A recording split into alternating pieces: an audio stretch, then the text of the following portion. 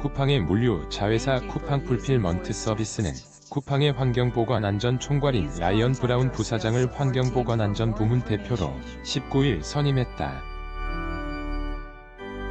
이에 따라 CFS는 엄성환 인사부문 대표, 정종철 법무부문 대표, 무뇨스 제프리 로렌스 오퍼레이션 부문 대표 등 기존 3인 각자 대표 체제에서 4인 각자 대표 체제로 바뀐다.